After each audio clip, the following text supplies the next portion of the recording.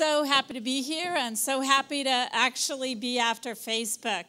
5 billion cell phones, 1 billion people on Facebook, and yet we have yet to realize the development potential. So, what we're about today and what USAID wants to partner with everyone in the world is to make this a more prosperous world where we can step on the earth more lightly. And that's what we're about. You know, um, President Obama um, uh, created the first policy directive on development that we had had in this country in 50 years. He did it in September of 2010, and he said, Let us imagine the conditions where aid isn't needed. And let's do it with economic growth. Let's do it with game changing innovation. And let's think about public private partnerships in a new way. And what we're here today and what Rio Plus Social is about is to make sure that that's inclusive development and that we together are deliberate about making this a freer, more prosperous, and more inclusive world.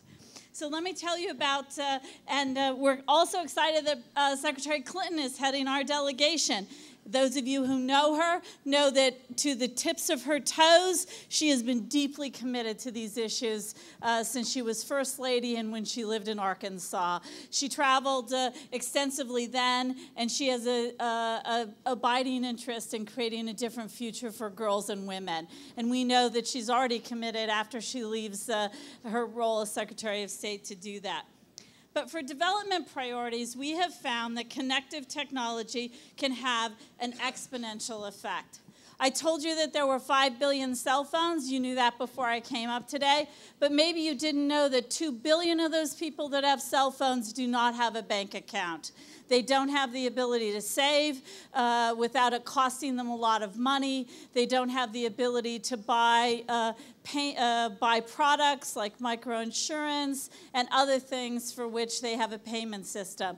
So let us imagine today what it would be like if those 2 billion people could use their mobile phone for mobile money and a cash register to be an entrepreneur.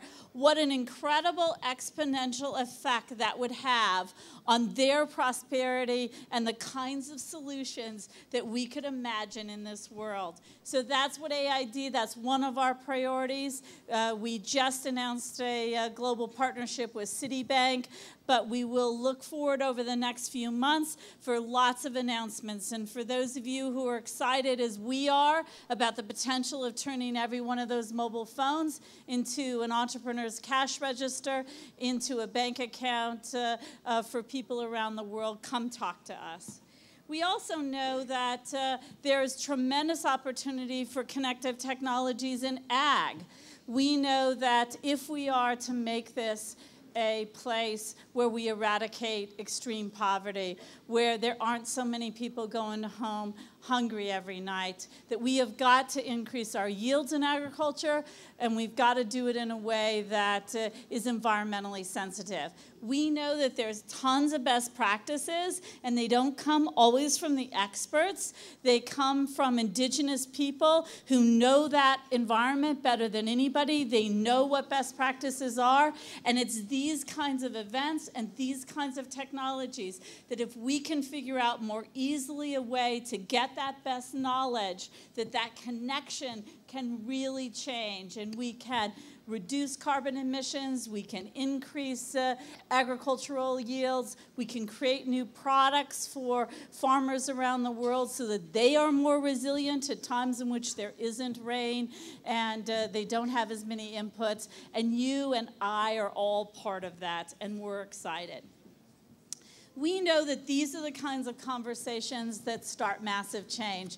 As I was flying down here from uh, the US overnight, I thought to myself, you know, it was a bunch of scrappy people like you and I in the US that said to England, you know, we have a better idea. We have an idea of a freer world. We didn't quite get it right at first. It took us 100 years to give up slavery, but it was these kinds of things. Yes, we did it in town halls, we did it on horseback, but now we can connect the world as we're doing today to source those ideas and scale them.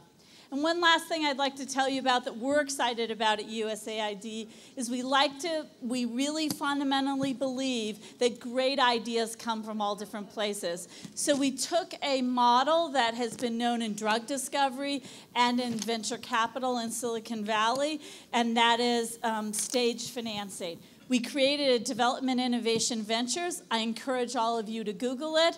Bring us your ideas. We'll co invest with you and we'll help um, create the new kinds of solutions together that will change the world. Um, I'd also like you to know that at 11:30 tomorrow morning, we'd like to continue this conversation. We invite all the youth bloggers to come to the U.S. Center to have a conversation with our Deputy Administrator Don Steinberg, because we think that this is an incredibly important start. I was at the Y last year, and we just need to keep it going. So I appreciate you all being here today, and I hope that you will think of USAID as one that you'd like to partner with in the future. Thanks so much.